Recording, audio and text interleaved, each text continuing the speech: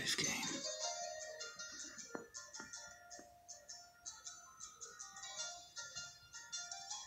Oh, that was great, great match, man. By the way, guys, that was it. Oh, that was a. That was an oh, OU tournament finals match you just witnessed. So, I'll see you guys. I'll see you guys later for another new video. Hit the subscribe button if you haven't already. Hope you guys have a great, mm, have a great day, guys. Later.